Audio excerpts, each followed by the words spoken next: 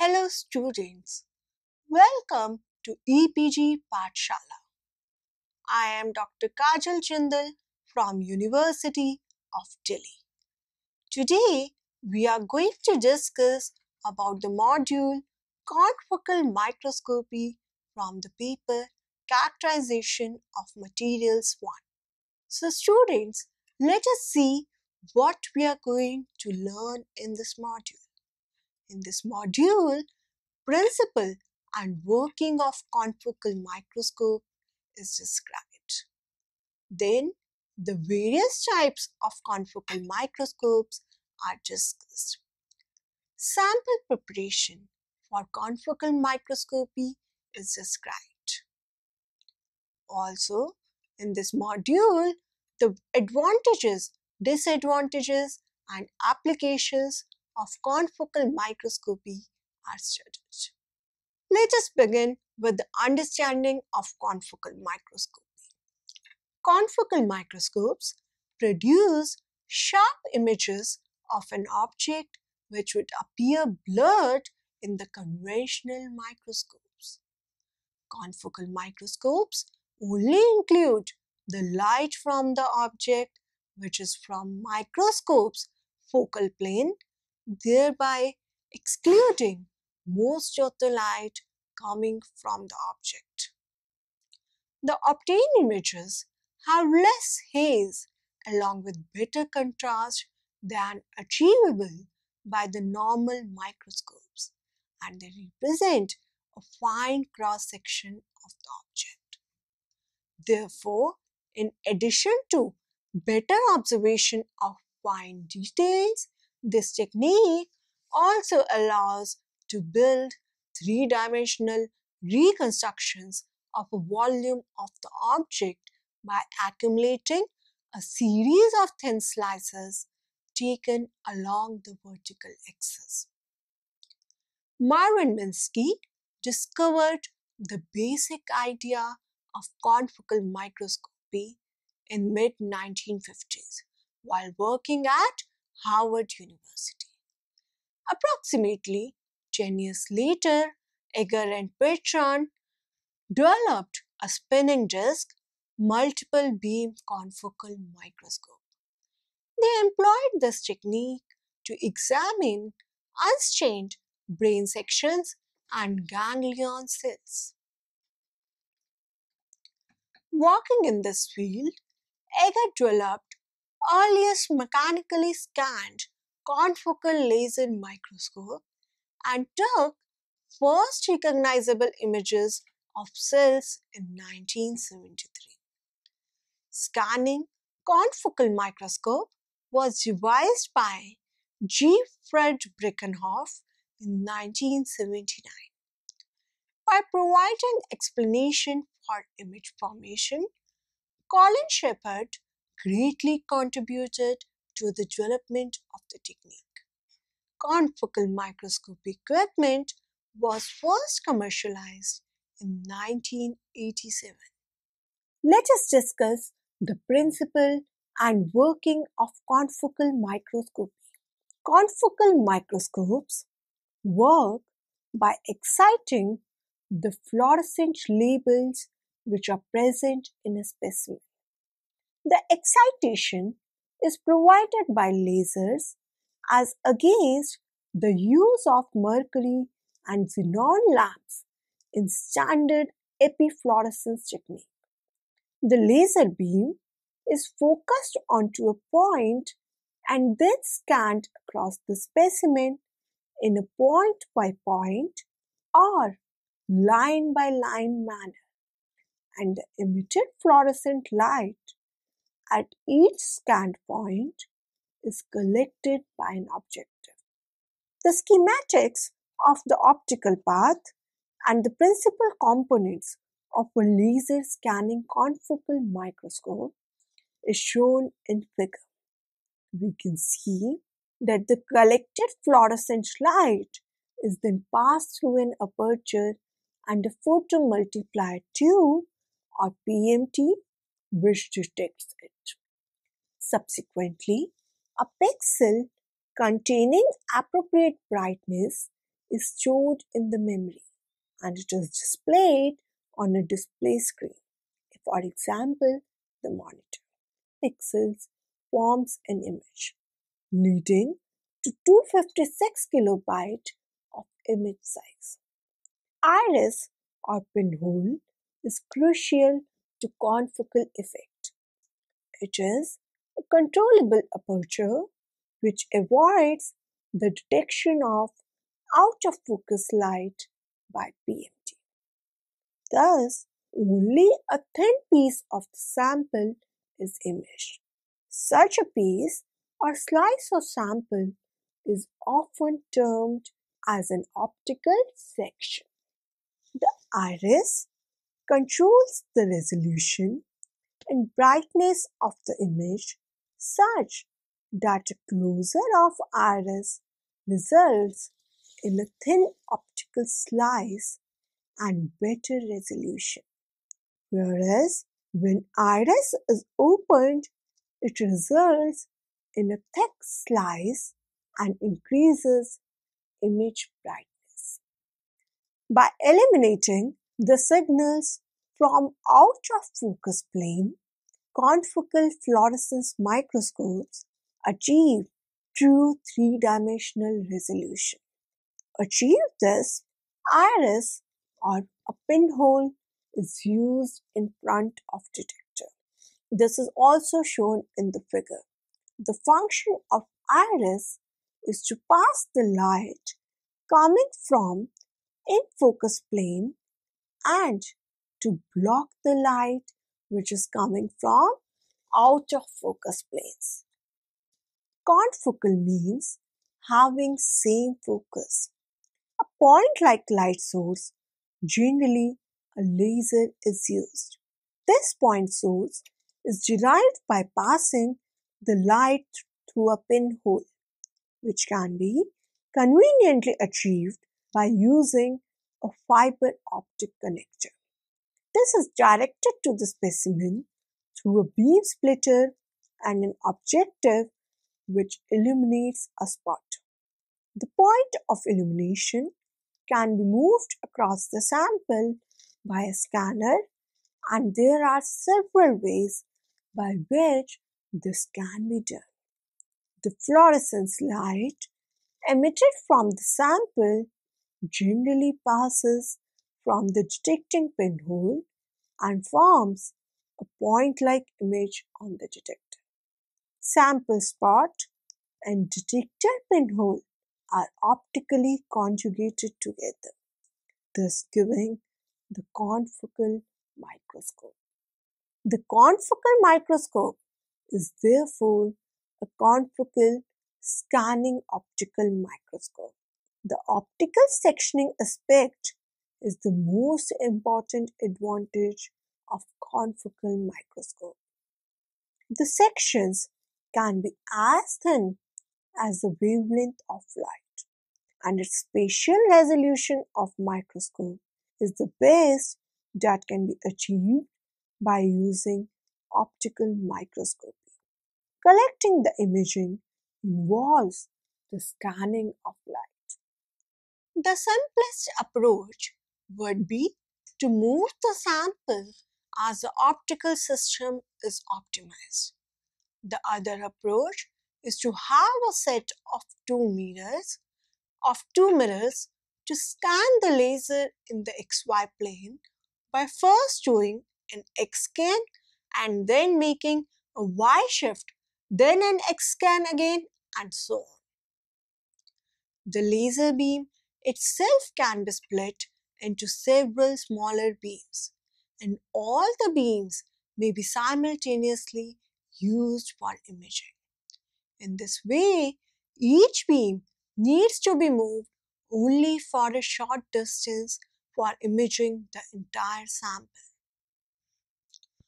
All the beams are focused by the objective simultaneously and the light coming out from the sample is collected through the pinholes and microlenses detected parallel.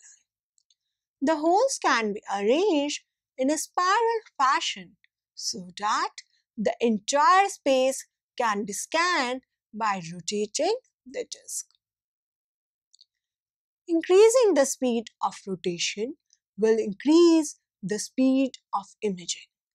The signal collected from the sample is confined to specific illumination volume by the use of an aperture. Thus, the aperture sets at the same focal point of the objective, rejecting all light that comes from other region.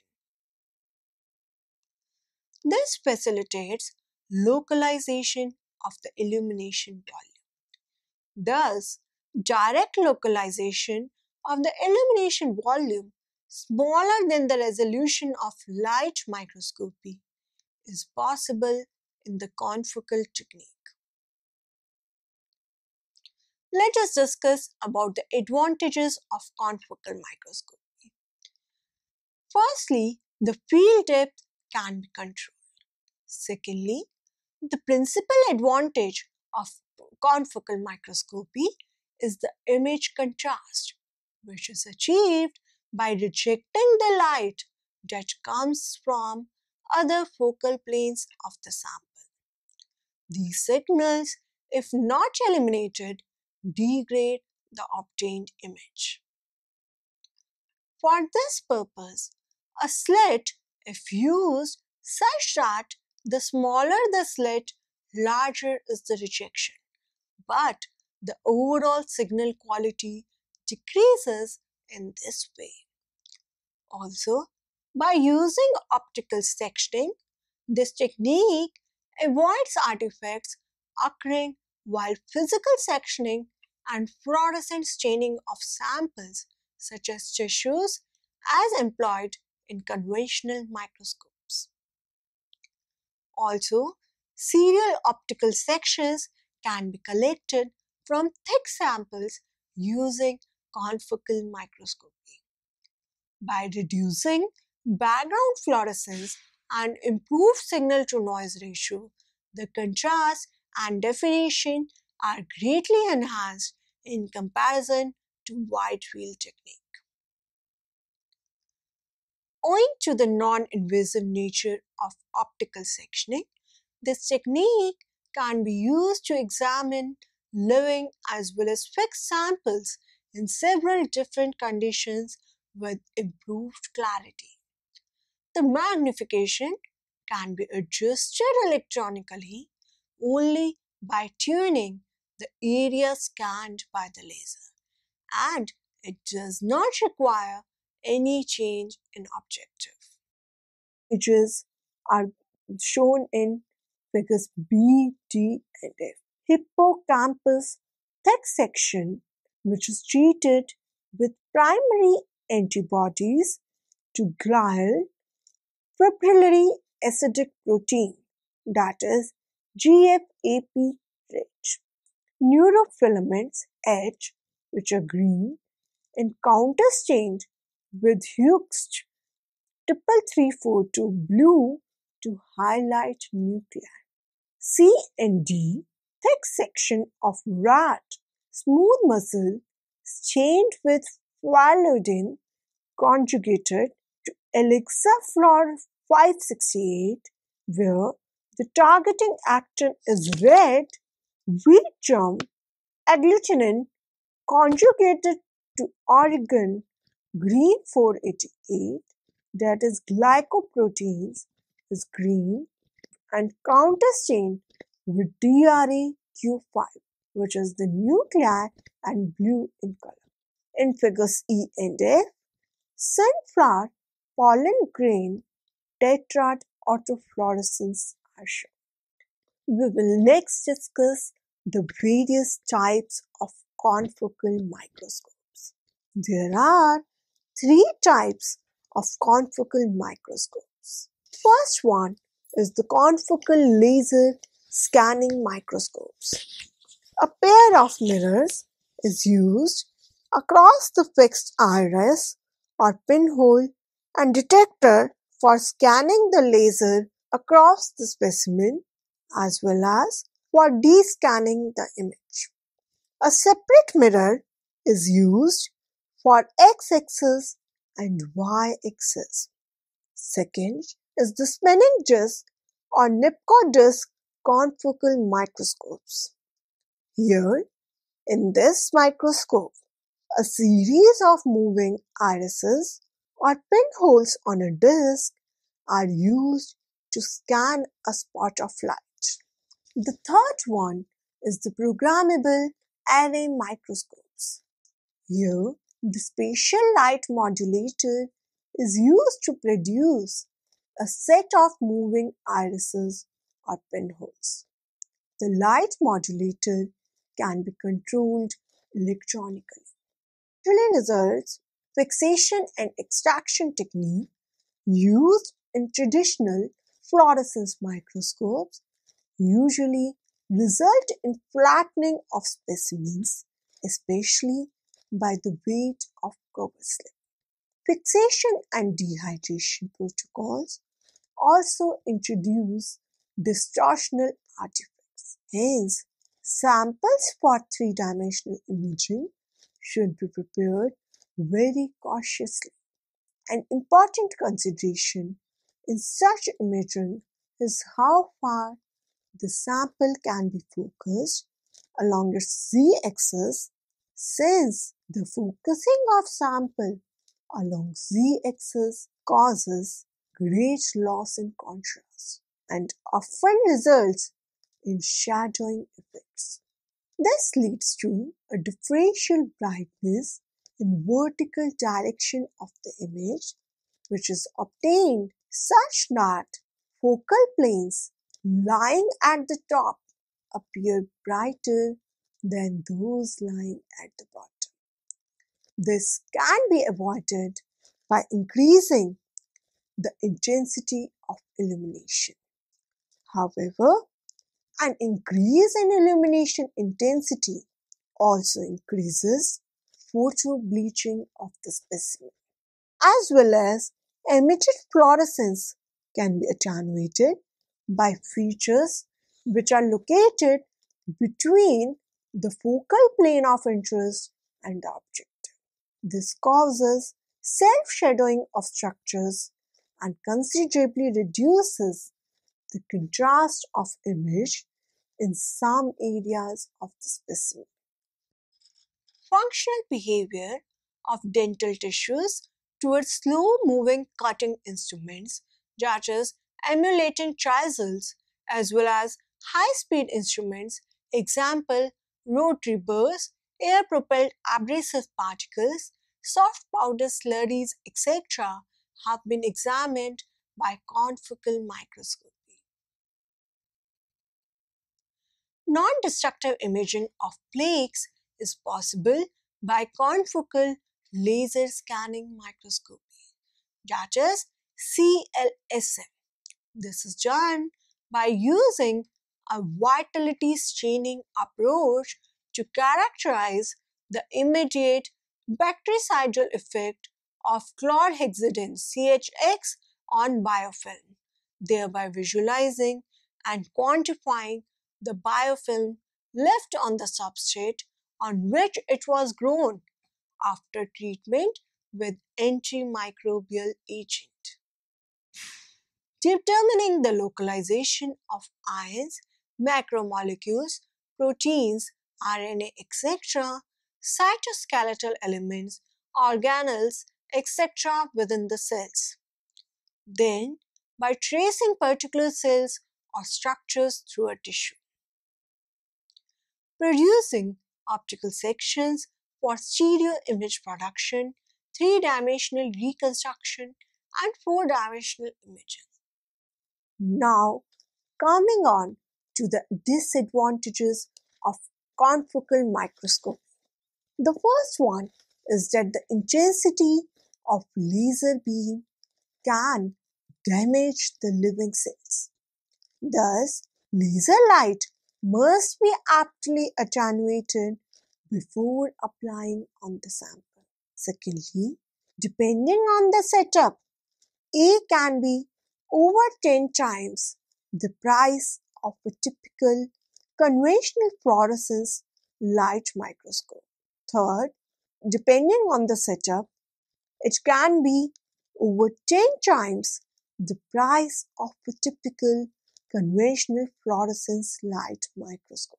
Another disadvantage of confocal microscope systems is that they often take larger space than traditional fluorescence microscopes, as additional space is required for laser, scan head, and computer hardware.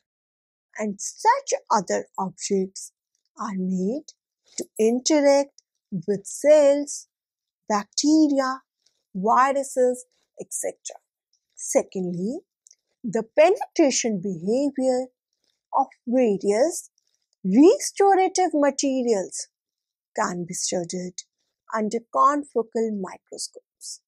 Resin infiltration of natural caries lesions has been examined by confocal microscope as well as transverse microradiographs.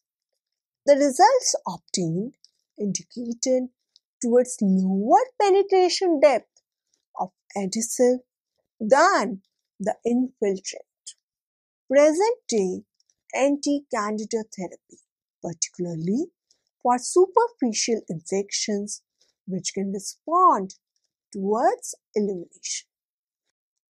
So students, let us now summarize what we have learned in this module. In this module, the principle and working of confocal microscope was described. The various types of confocal microscopes were discussed. Also, the sample preparation for confocal microscopy was described. Moreover, the advantages, disadvantages, and applications of confocal microscopy were studied. Thank you students for your attention.